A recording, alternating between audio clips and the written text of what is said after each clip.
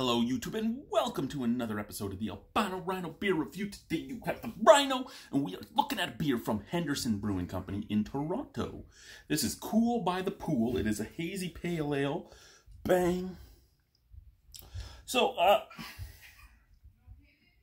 not that I personally have anything wrong with this stuff, and it isn't really sexualized per se, but I find it funny that over the last decade, there has been a lot of pushback on women on beer cans, and then you always end up finding a scantily clad woman at some point on a beer can. I don't I don't understand. I don't Anyway, let's do it, right? 4.5% alcohol by volume. Like I said, I I really don't care either way. I just find it funny that the trend is this, yet it keeps happening, even though the trend for outrage keeps happening. And I know oh, the counterculture and all, uh, and the cancel culture, and you know what? We are getting to a point where we shouldn't be using human bodies as a sale vessel. But again, I digress.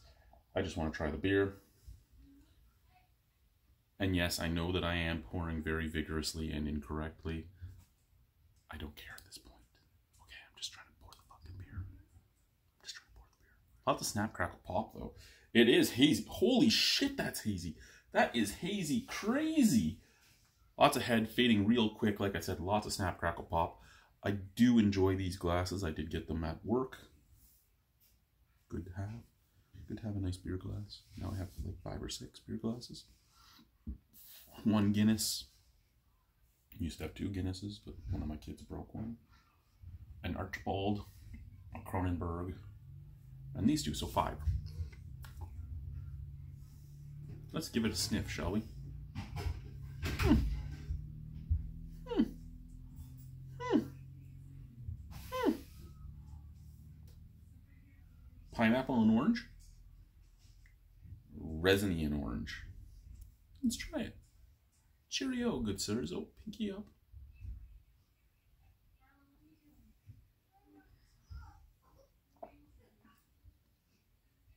Oh, that is juicy.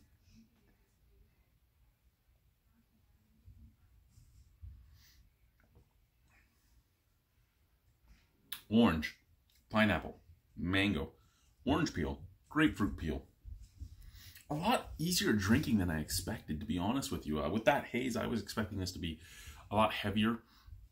And I did expect a little bit more flavor than I'm getting. Like the flavors are all there.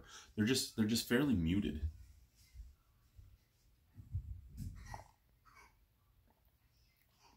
There is absolutely nothing. Sorry, I'm just going to put the beer over there.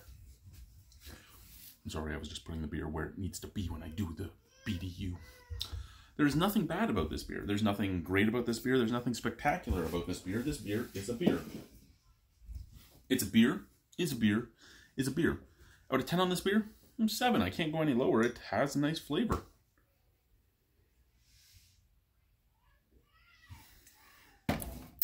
Has a nice ABV. Cool by the Pool is a cool name. My only complaint is the flavor is subdued. I do like the hoppiness is subdued at the same time though. Like the bitterness is on the low end. I really do enjoy that. 7 out of 10 on that beer. I like it. Thank you guys.